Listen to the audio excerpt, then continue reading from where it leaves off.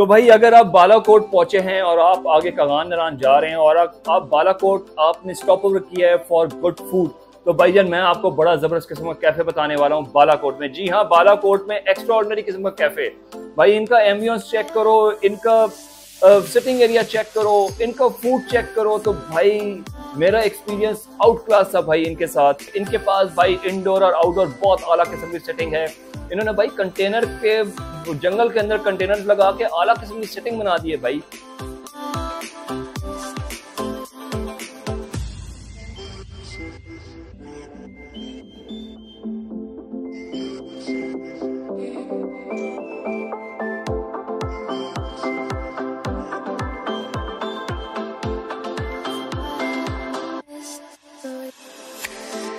और यहाँ पे they are offering multiple cuisine हमने इनका ट्राई किया बर्गर्स ट्राई किए क्राफ्ट सैंडविच ट्राई किए, हमने इनका लोडेड फ्राइज ट्राई किए।